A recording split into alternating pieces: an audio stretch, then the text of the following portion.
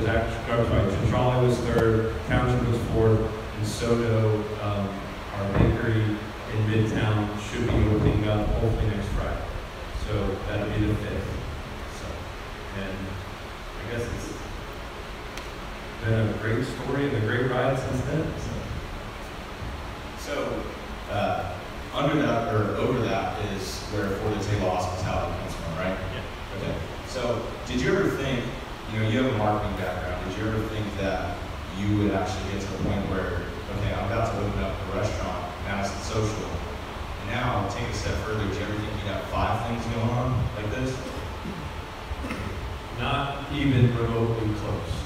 Um, so when, when we opened up Madison Social, uh, I, since you guys are all budding entrepreneurs or you're, you're wanting to own your own business, and so I'll, I'll talk you through how we did it. Um, when Mark Ryan came to me and he said, I'm looking for a local worker. I need some, I need some help. I'm not going to live here. And oh, by the way, you can run the brand and cause that's what you do. And it should take you about 15, 20 hours a week. And I was like, you're dumb.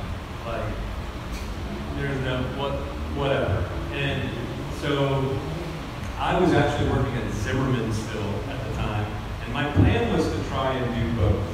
And I quickly realized that I don't think we could be where we wanted to be if I was doing both. And so December of that year, or four months after we opened, I um, quit Zimmerman. But before that, I was responsible to raise part of the uh, capital that was needed. Um, and I got us really close, and then the, the, the major investor backed out. It was, it was kind of odd. Um, and, and actually, Brian's dad, my partner's dad, is our, our major investor in Madison Social. So, uh, so that gave, that got, that gave me equity in, in the business. And I, I didn't really understand, understand really what, what everything required, right? And we opened in August of, of 2013, and two weeks after that was our first game. So I was supposed to raise some money, didn't happen. Um, I, I retained my equity, and, uh, and, and I had no idea what, what I would have to do to be successful. Like that was, I knew how to, I knew how to run a brand. I, I knew how to develop marketing plans. Um, and really, when we opened, we were we were on an island. It, we were the only thing open down. And then two weeks after we had our first football game, and it was like, I mean, no pun intended after Irma, but it was like a, a hurricane. Like it, like you'd never seen anything like this before. I mean, 3,000 customers in one day. I mean, it was a, a I mean, kind of talk about a shit show. I mean, I was running around cleaning tables, trying to do everything that we possibly could. I'm like, I didn't sign up for any of this. And, uh, but we quickly got into a rhythm, and now it's a machine, and and it affords the opportunity. And, and so we have different structures. You know, if this is interesting to some of you guys, um, traditionally, you mentioned for the table. So traditionally, how these things happen is uh, a hospitality company is created, and ownership lives in that hospitality company, and each one of the stores kick a management fee up to the hospitality company, hence paying my salary or, or whoever's salary, or a shared expense salary, like Sarah's our events person for every place. So therefore, she's a for the table employee kind of. Um, and uh, but but we weren't really structured like that from the beginning, and so we've had to grow into that. My partner and I take a management fee off revenue, and we've always set that money aside. Like it sits in an account and we don't touch it. Think of it like a savings account that you would never touch. And that has allowed us to fund all the other projects.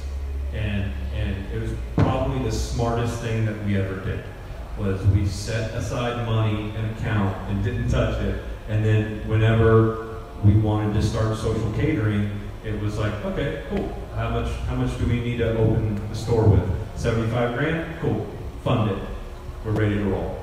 And that's kind of how we develop everything that we do. And we have partners in different things and and so like social catering has a couple partners um, and they run the day-to-day. Township has partners from Fort Lauderdale.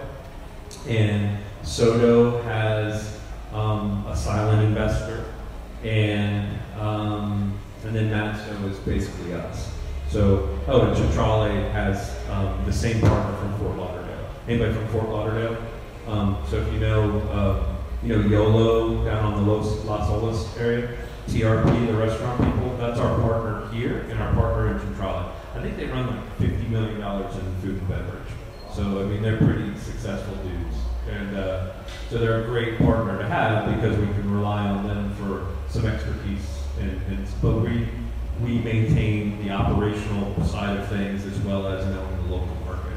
And I think um, Township Fort Lauderdale might be opening up in March. Um, so yeah, it's kind of cool. Um, so uh, they bought, if, you, you're familiar for that, they had a, a tilted kilt was down there somewhere. Um, and so they bought that building. They did a rooftop bar, a scratch concept called Taste that's basically for lunch, and then Township will be where the Tilted Kilt was. And I think that opens up in March-ish So, um, yeah, that'll be the sixth thing that we own part of something. So, um, yeah, it's, it's been a hell of a ride. No, I would never think from 2013 to 2017 would we ever have all this, all the things that we have. I mean, it, it comes, with, it doesn't come without struggle. I mean, you and I were talking the other day. Am, am I talking too much? Are you to ask me? All right, cool. Um, you know, how did the hurricanes affect your business? Um, Madso's machine, it, it, it really is, the brand has grown so big that it's pretty resilient to weather. Um, it, it, um, the, the coolest stories, you know, with Madso and how the brand's grown. And, you know, this past summer, someone shot us a picture from Instagram and they were, they were in Montreal. Three people stopped them and said, you're from Tallahassee? I mean, I get those stories wherever I go. I, Madison Social, I'll have some sort of Madison Social logo probably on me. I was in a cave in Napa um, with my wife, and we were doing like a, a Schramsberg, it's a champagne. And uh, the people that were in there were from Jacksonville and go, oh, I love Madison Social, I come to every home. So, I mean, I, I have stories like that that, that go the list goes long. Actually, my favorite is some girl got pulled over in South Florida, and the cop saw the logo, which you're a challenge shirt. He goes, I love Madison Social, you don't get a ticket. so, um, so those stories are, are everywhere, and I love it, and, and, and that makes you feel really good. Um, I don't know where I was going with all that. Oh, Madison's fairly resilient, and so um, it was down off of projections, maybe five grand for the week because of the hurricane and no football. I mean, that's that's pretty. In, in, in our world, if you miss five grand, you, are around the dartboard, right? It's not like it's, that's not terrible. Um, township took a hit, 100%. That, this place took a hit um, it, without football. Centrale took a hit without football. Um, got murdered because of no football. People don't do events when hurricanes are coming. So they lost, I think, 30 grand in cancellations. That's a big deal in that cash flow in that world. And, and, and they got to try and make it up.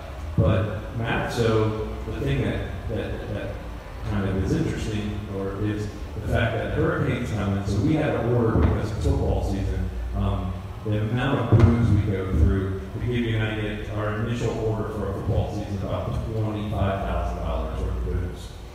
So we had to cut it. Then FSU cancels the game the day before. The day, or right, right Thursday night, basically the day before. So, okay, cool, what are we going to do with all this booze?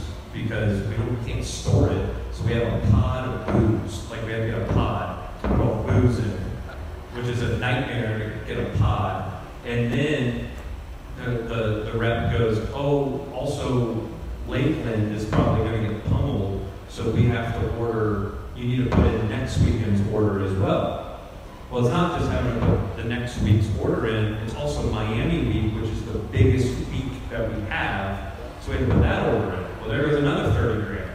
So for those of you that are interested in cash flow, there's $55,000 worth of inventory that we had to shell out that I can't sell really until a month from now. And I gotta have a damn pod with all of it. You know? So it's it's it really is a, a jigsaw puzzle and I think cash flow stuff is something 100% when I started this, I didn't think that would be a, a, a, reality of my life. And it's a huge reality of my life in times like this. And it taught us, obviously, more also that we need to have bigger cash reserves for all of our businesses. I mean, I was at, um, some of you go to Paisley Cafe. I was at Paisley last December having lunch with somebody, and the owner saw me and she started talking to me, yeah, we're, we're still recovering from the hurricane. And I was like, holy shit, it's December.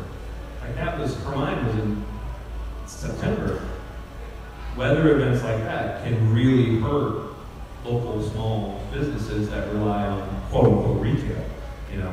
So um, just stuff like that kind of gets a little bit more interesting as we go. By the way, whatever they you, the customer is not always right. All right? You, you can spend a lot of time chasing bad business. And at the end of the day, if somebody doesn't love you, or or or clearly, I think, I think, let's talk about reviews, I think that's where we're getting anyway. Um, it's, I think it's my job, I respond to every one of them for every one of our businesses. I think it's my job to delineate what is, um, what is consistency and what is preference. I can't help.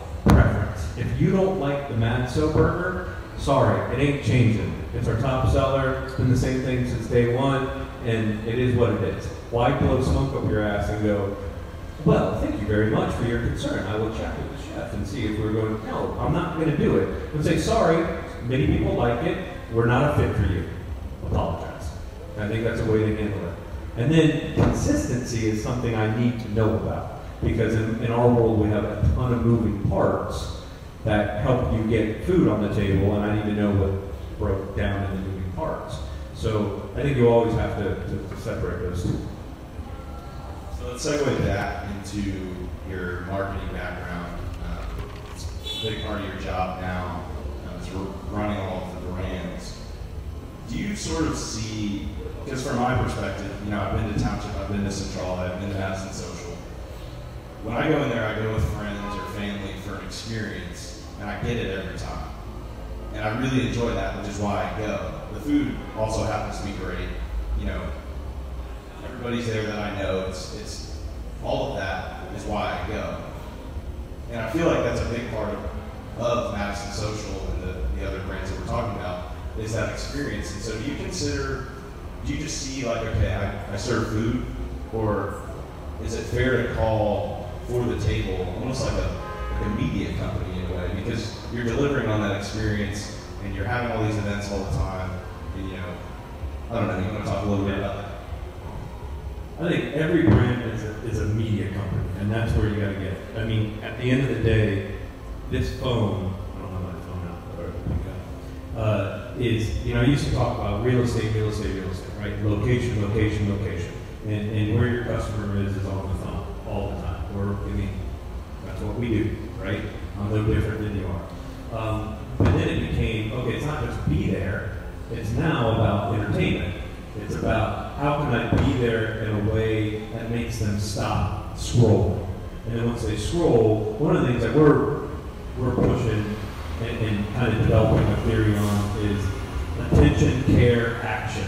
So um, ACA, not Obamacare, but um, attention, care, action. So what's going to get my attention? What's going to make me care? What's going to make me take action?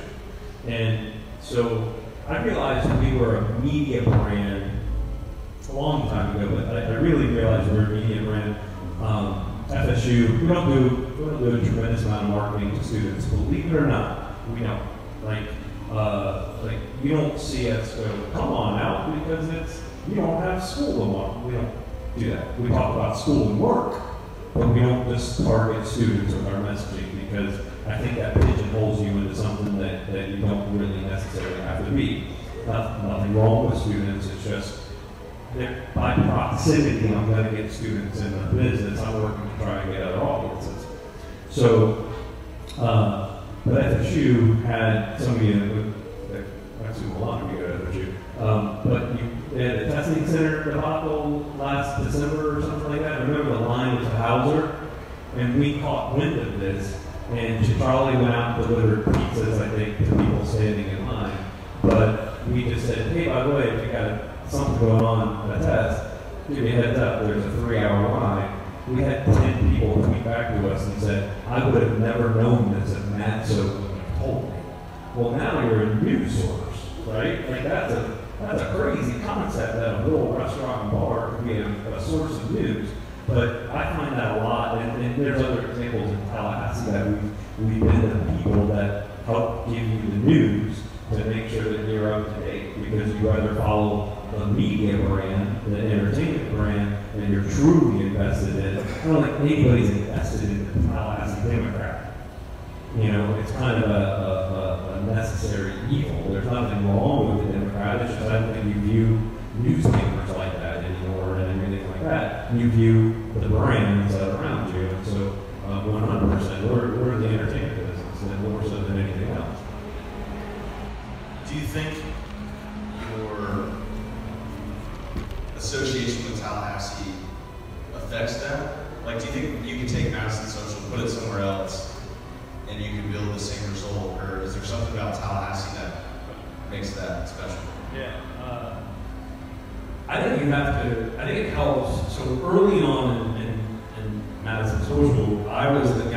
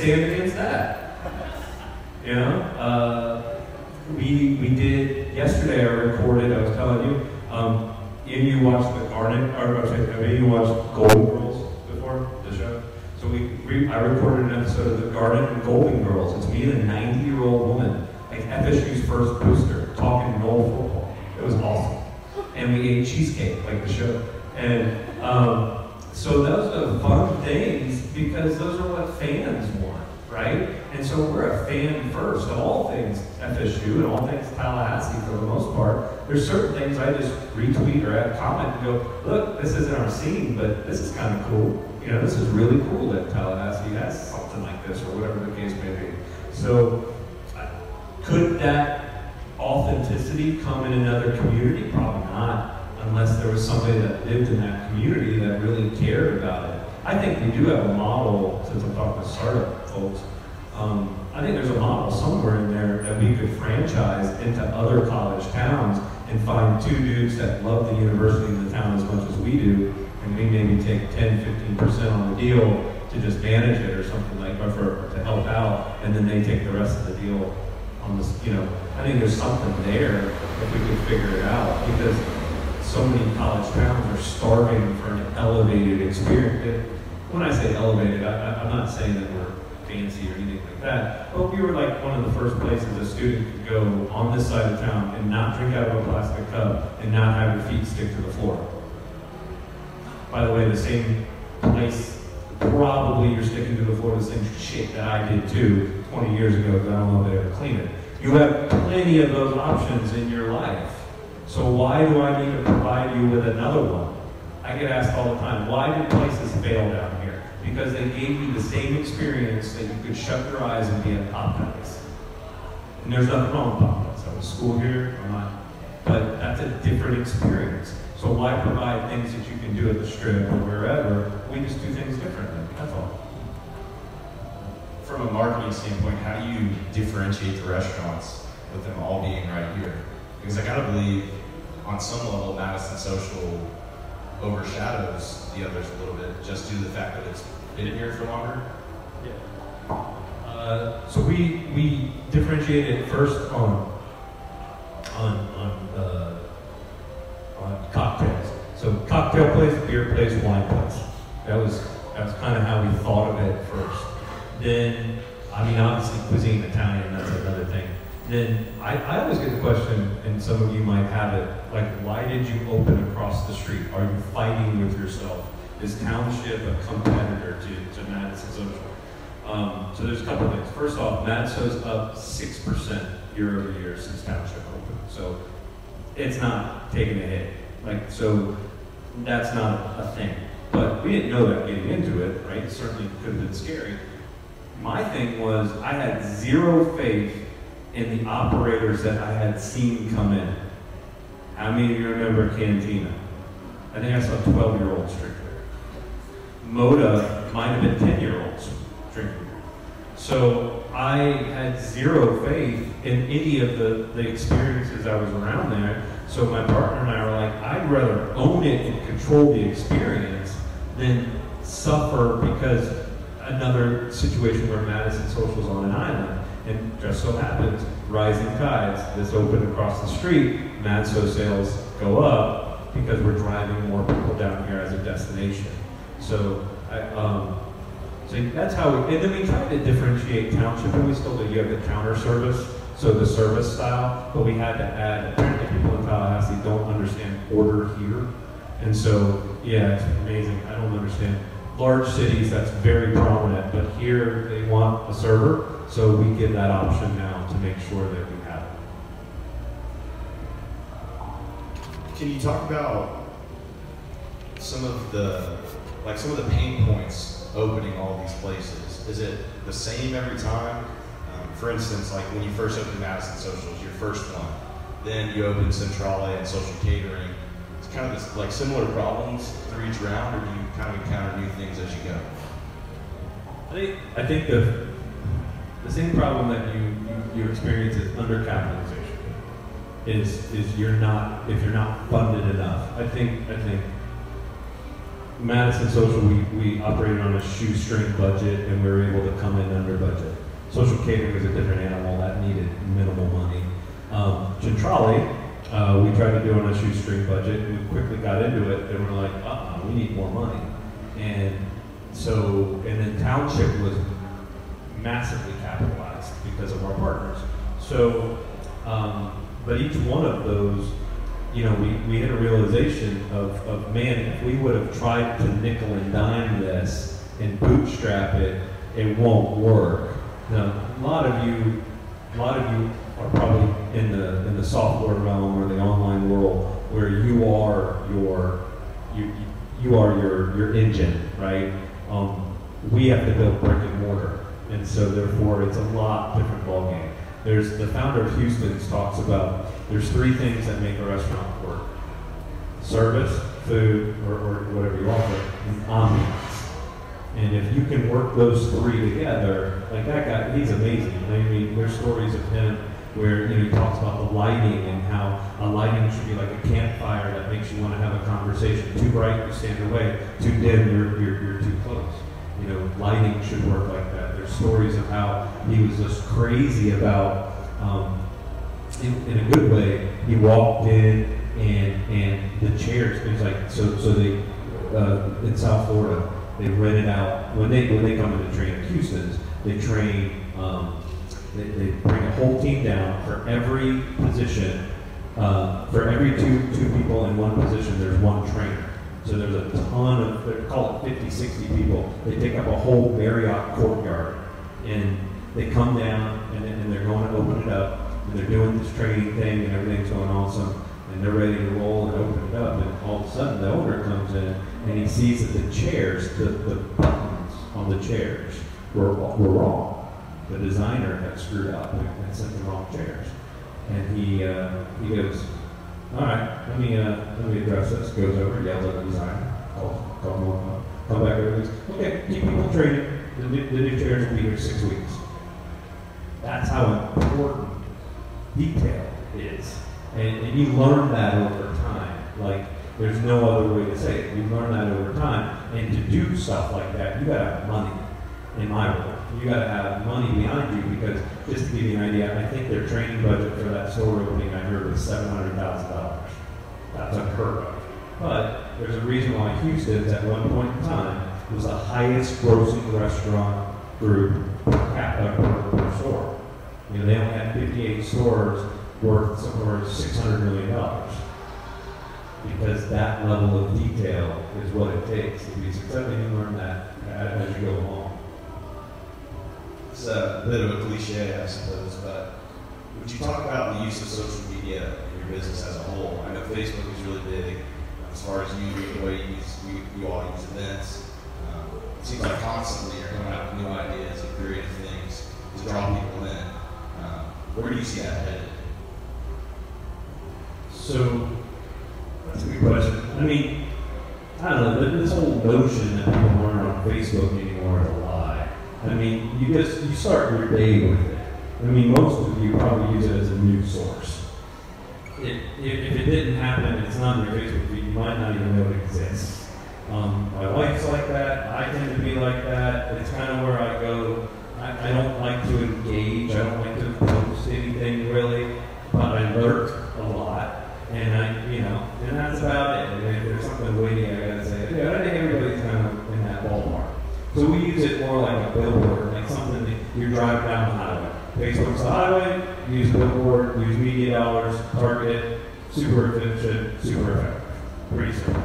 I mean, it's a, it's a you guys know this probably. I mean, it's the most targeted platform on the planet for advertising. If you want to target 35 year old single women that like Gone with the Wind, you can. There's 12,000 of them in the United States. I mean, that's, that's how targeted you can get.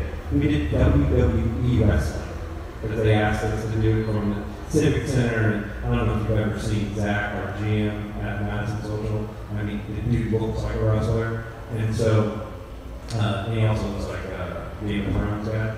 But, uh, so that, you know, so we, we use targeted media for WWE. That is not our audience. It's not WWE fans that I'm aware of. We drove 40 trivia teams by just using targeted media dollars. And we can really know the ROI on that pretty quick.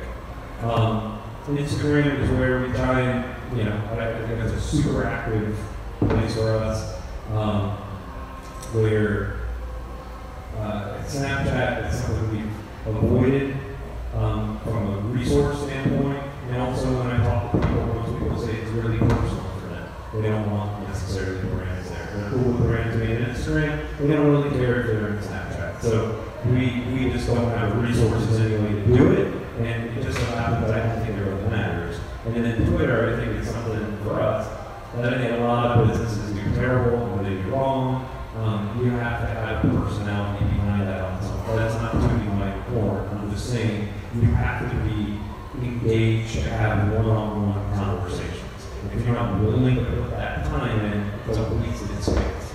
I do um, most of the Twitter activity I do is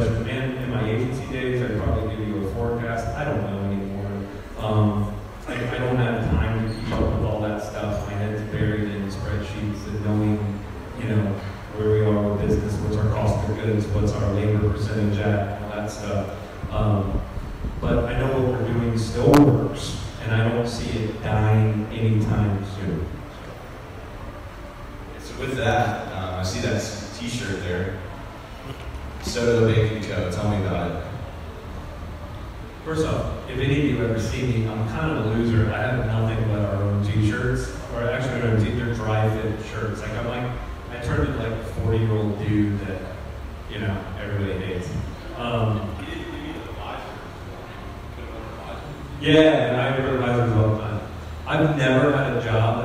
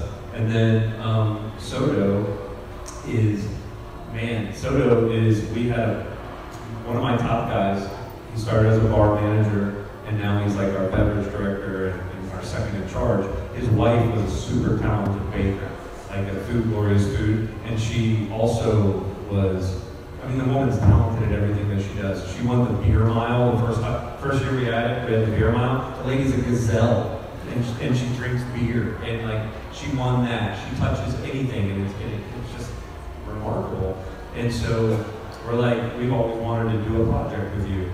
And so we went and, and, and said, an opportunity arose to take over, take over the Lenny's location.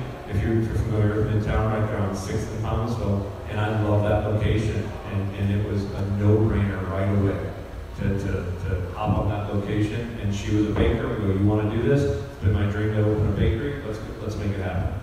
And so, um, so that's how the brand, and then we were trying to think about what we were going to name it, and someone came up with So Dough. And it was like, oh, that's cool. Let's roll with that. Um, obviously, so and social and everything else, you know, works out with what we do.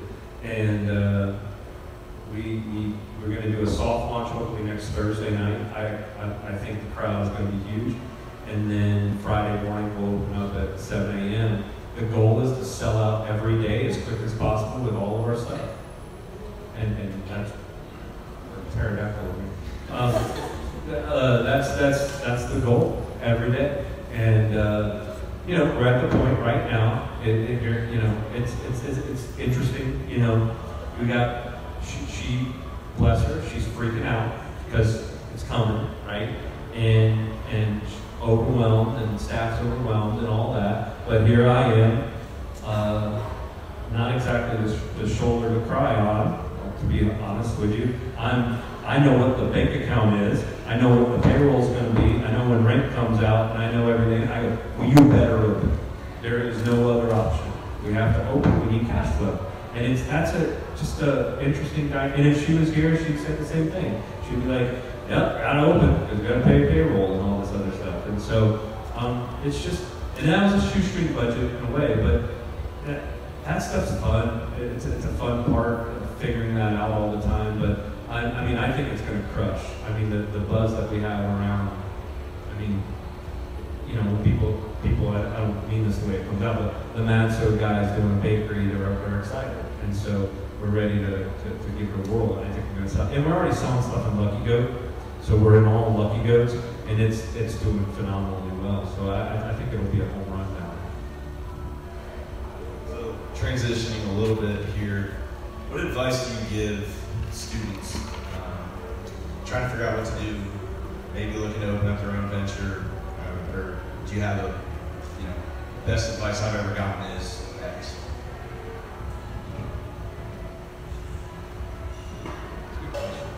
I think. Um, we typically, I, I don't, I talk to students when I teach, and, and I always tell them a couple things. The thing, the first thing I always say is, I'm always looking for, um, well, maybe there's a few things like that. The number one, I'm always looking for people in our team. If, if so, some of you might not go on and open up your own business. Some of you might bring your entrepreneurial skills or passion into an organization and eventually go out, right? So what I'm looking for on a resume all the time is I'm looking for show me something a professor didn't make you do. Whatever that is. All of you, and I, I teach advertising, so keep that in mind. So the advertising majors, I always go, and this probably applies to some of you. All of you have the same classes, the same story, the same projects. Show me what is going to separate you from somebody else. I mean, in this world, it's the e- and you guys know this is the easiest thing to get a project going. I mean, um, you know, Lucas Lindsay, for example, is, is constantly doing projects because you can spin them up quickly and you can learn so much by doing things on your own.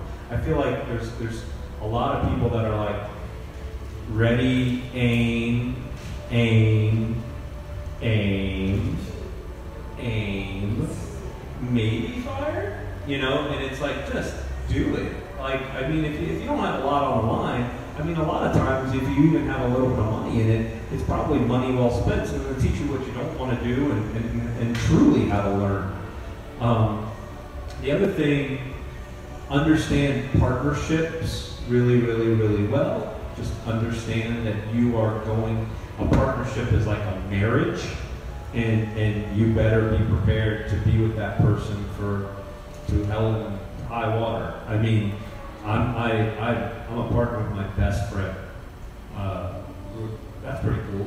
And last night, um, and I would do the same thing. I just didn't give a toast for his birthday. But last night we went to my uh, dinner uh, for birthday, and he gave a toast, and uh, and uh, he started crying I talked about.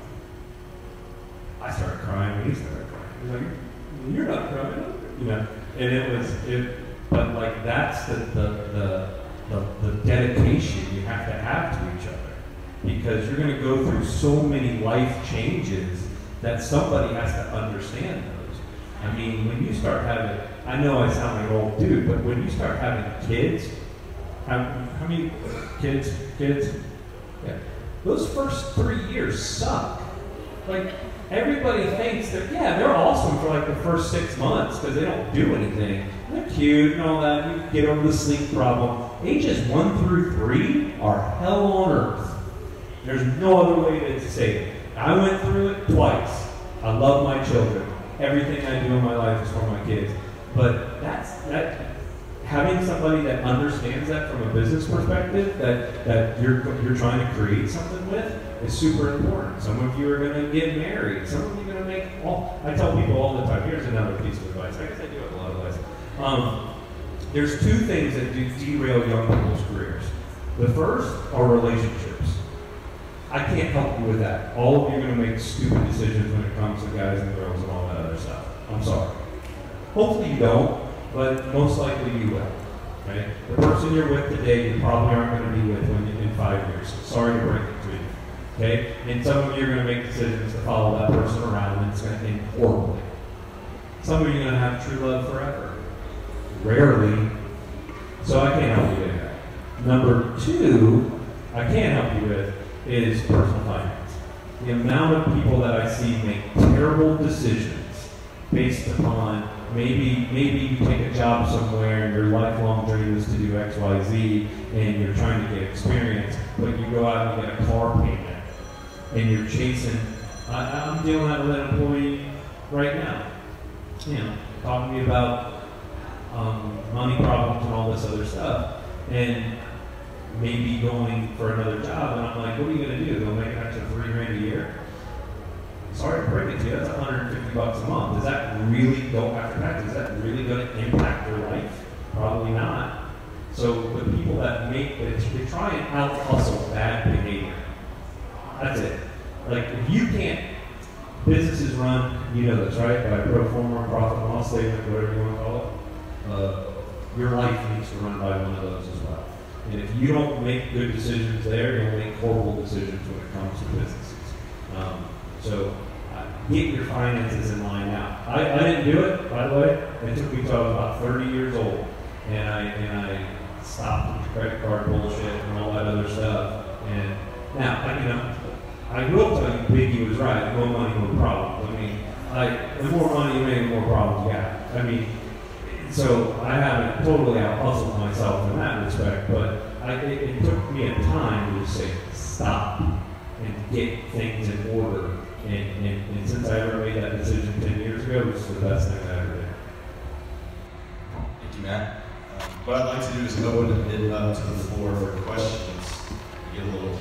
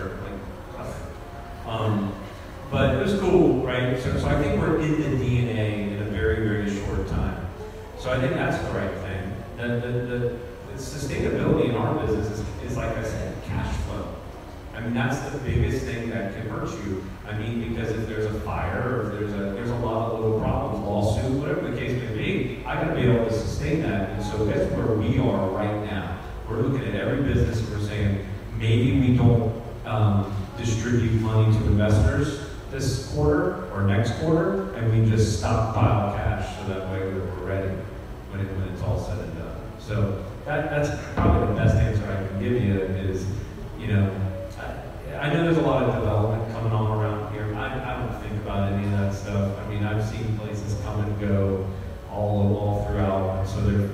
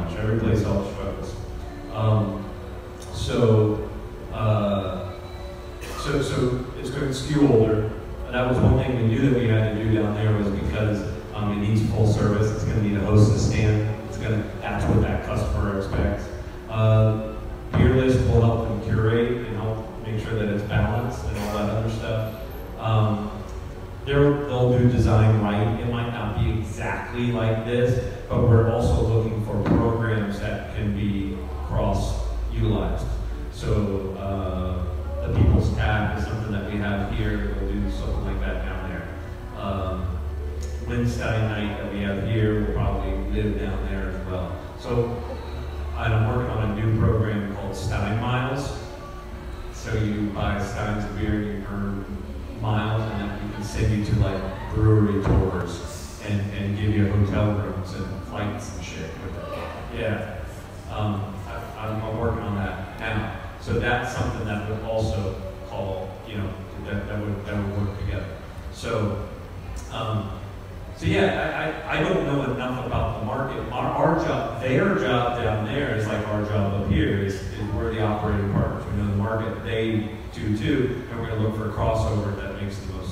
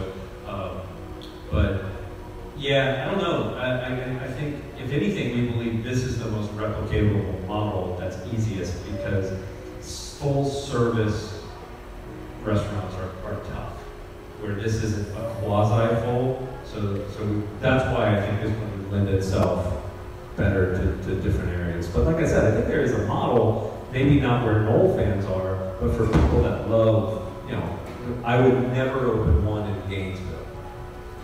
Like, that place can burn to the ground. Hogtown will never see a match.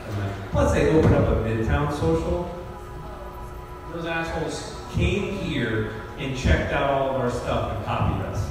Like literally, they were in there and they go, "Yeah, we're from this place in Gainesville that's looking to copy you." Like their designers were in there, and I went there last weekend and I was like, "Yeah, yeah you did a good job." Down to the chairs, like the same chairs that we use. It's yeah. So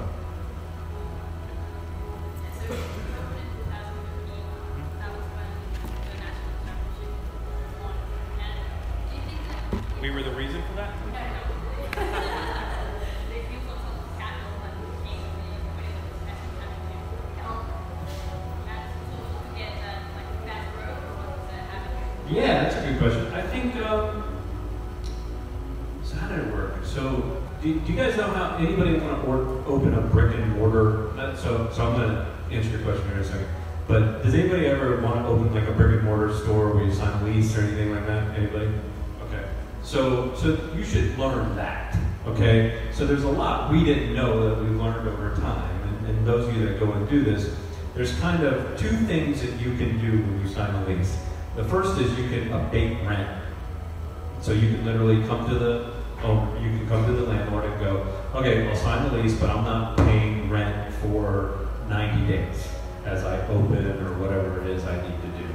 Uh, we did that at So Dough. Sodo, we said, okay, we'll start paying rent September 1st.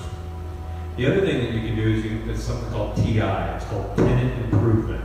And so therefore, TI money is basically the landlord giving you capital. Now it happens after you open, but it, landlord gives you like a rebate. Think of it like a rebate, and you can negotiate that. And then you can negotiate those two things together. The longer that you want to abate rent, the less TI that you get. And so we learned all that stuff, and, and Madso's deal looked way different than this deal because we learned a lot along the way. And so this place had a ton of TI, whereas Matso got like a hundred grand or something. That's not a little bit of money, but like in the grand scheme of it, it was very small. So that helped. So, so we had that TI money from day, because we didn't have to touch it. We didn't have to get into it. So literally when the month after we opened, we had another cash flow injection for TI money. And then we also had a few football games. That year, we didn't know we were as good as we were until late October. So the first few games were just, we were just the only thing open. And it just so happened that people were looking for a place to go because tailgating sucks. I did it for years. It's, it's, it's, it, it, oh, right? Those of you that set up, uh, any of you set up tailgates for your friends, it's awful, right? You gotta wake up, you gotta get out there four hours before, you set it all up, everybody drinks everything, and then they, nobody helps you put it back down, and then you put it back in your car and it smells for two days because you don't want to take it out. And I think there's a lot of people in my demographic that don't want to do that anymore. It was fun, but I don't want to do all that work. So we became the place that you decided to tailgate.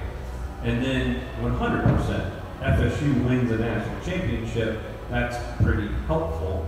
Um, but we've grown probably about 10% per year since then. So.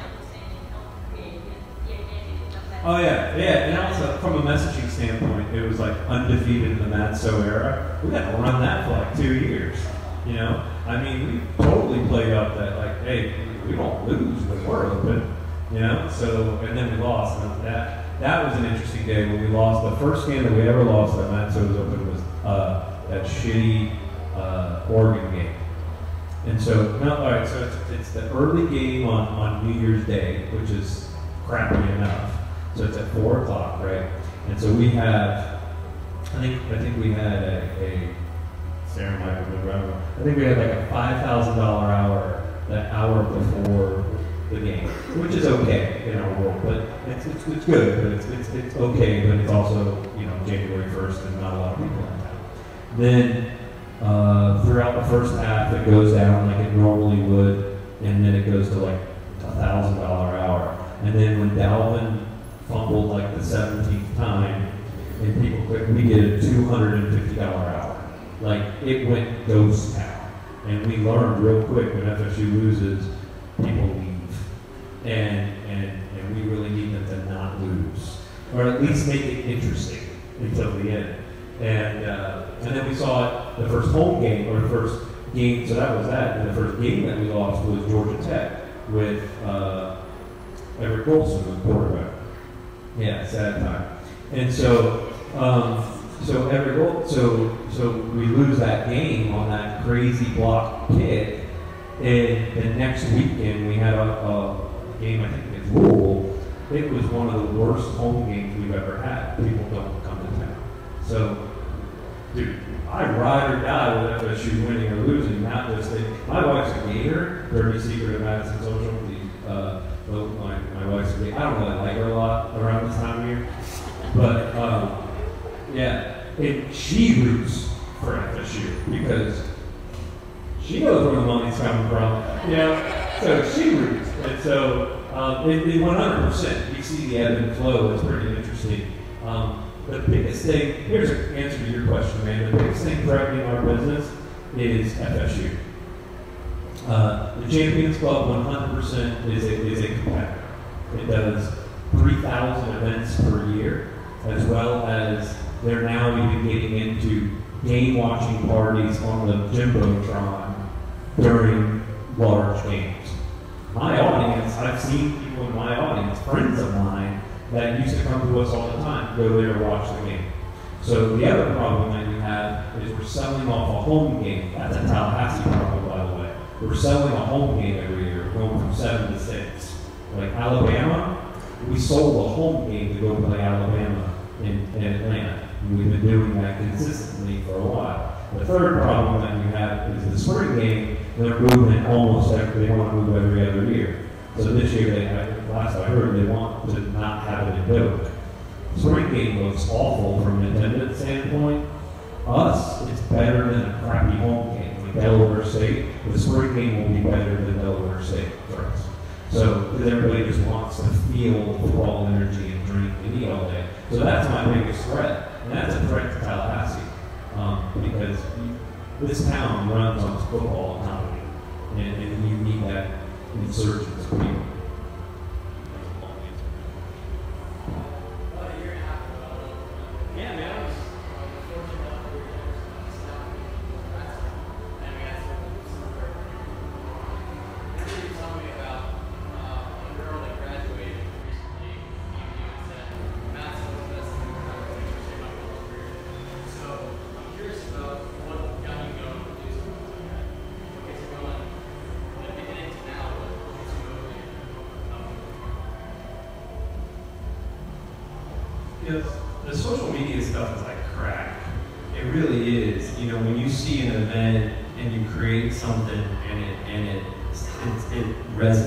right away. Or when we design a new challenge shirt and people love it. You know, there's something about it that like is like, let's keep doing this, right? Like, like that's what I love. I, I love the fact that people, um, you know, I, I, just, story, I think I, same story I, I might have told you. After graduation one year, like this is a year ago, bar shuts down, girls crying, which, which isn't all that uncommon, unfortunately. And she's crying, and we're like, are you okay? She's like, I'm just gonna miss this place so much. I was like, well, that is awesome. You know, keep crying. Know, get out.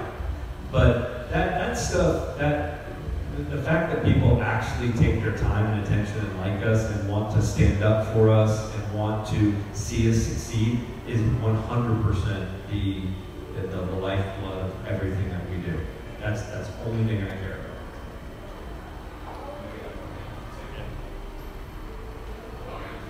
I can answer any. I don't mind. I'll go quick. What, what's the process you go through for like vesting a partner or a, uh, Like vetting them. yeah. Okay. So when we, um, we, we really haven't gone, to gone through that a lot. You know, when we started, you know, the, the thing is, if you do take capital and you, and you try and raise money, you want to have as little, as, I mean, as, as little as possible investors. They're all heads. Like, you know, I mean, or they can be, you know. We have one investor, he comes in, he acts like he's, he owns the place. And he's one of our first, and he, but he, and he'll, he's, he's fair, he'll go, I'm only here twice a year, so you gotta put up with me twice a year. Lord knows we put up with him, you know? And so, it, that, that, that's the only problem that I've ever, it- it's not even a problem, you know, um, that we've ever gone through. I mean, I, I think it's, I think one of the things that we, that we need to get better at as we move forward is valuation of a business before it's created. So that way, when we're taking capital, we're not doing it on what's it gonna take to open a business, but what, what's the business gonna be worth in five years? You know, that's a tough, tough thing, right? Because that's the first thing they ever ask you in, like, if you watch Shark Tank, right? They go, "What's your valuation? How did you get that number? You only have X amount of sales." Well, our sales would be zero, right? Because we don't know. But we, we 100% need to get better at that because I, I think, you know, not, not that I'm unhappy with where we are, but I think we've done some deals that uh, we could have valued it a little higher. So, yes, ma'am. So that's a because you have strong brand identity. Do you have any tips for like an entrepreneur just starting to build a strong brand identity for their product? Every person matters. That simple. Every every person that you know, our our philosophy, or, or should I say mine, but like our number one, every review got responded to. Uh, we listened to your concerns. Um, you uh, online, if you if you commented, I commented back, or at least liked the comment. The digital handshake, right? All that stuff matters. When you start ignoring people and ignoring customers, I don't think you can build a brand. And so it sounds super simple, but how many brands do that? How many brands respond to every review, every comment, and every, you know what I'm saying? And so that has helped us tremendously throughout the beginning because now today's currency is trust, right, with a brand. Um, you never want to be in a situation when you're transactional. You give me four dollars, I give you a beer. Yeah, that happens, but I want a little bit of a deeper connection. I want you to know when you give me that four dollars I'm going to give you a beer. and If you have a problem with it, we're going to fix it. And, and, and that's trust. And I think we developed that through online and in store really fast because we had great management throughout the way. Hey, man. Oh yeah, um, for each product that you do, does it get easier? Is it like a snowball effect? So like, the more product you have, like it's easier. Or like, No, like, doesn't get no. Um, it probably gets easier for my partner and I because we've moved further away from the day to day. Um, you know, I, I think the, the thing about all of our projects is like we will help you make your dreams come true or whatever it is you want to do, but we'll assume most of the risk. But your deal is you're going to make it work. So I think it's, it's harder probably on, on the, the operator the operating managers where we're not there, we're not as much what we used to be. Now, granted, right now he's at So Dough painting walls, so I mean, I definitely don't have that role in our in our group. Like people laugh at like when I we, we were talking at a So Dough meeting last week, and they're like, I'm like, I'm here to help, and I'm like, yeah, right. Like they know I'm useless. Like like I'm the type of guy that pays people off Craigslist to get stuff done. You know, so but that's my role in our organization, and so um, it, it, it gets a little easier. But but for the most part, it no, I wish, but no. Thank you very much. Let's give Matt a round of.